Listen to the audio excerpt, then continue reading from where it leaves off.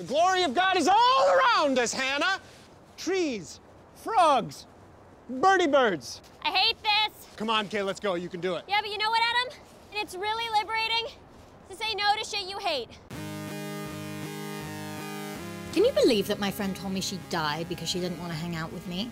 Yeah, no, I totally get that. Excuse me? I am okay. I may not seem okay and I may not be okay now, but I'm like, okay. My life is a mess, and I know that, that was a personal choice, but I feel like maybe it is time for me to unchoose that choice. I'm trying to follow the protocols of a gentleman and a squire. I don't hate your friends, I'm just not interested in anything they have to say. I'm not interested in anything they have to say. That's not the point of friendship. Who is Hannah Horvath? I feel like I'm a person who just like can't keep my mouth shut. oh my god! Hannah, why don't you place just one crumb of basic human compassion on this fat-free muffin of sociopathic detachment? See how it tastes.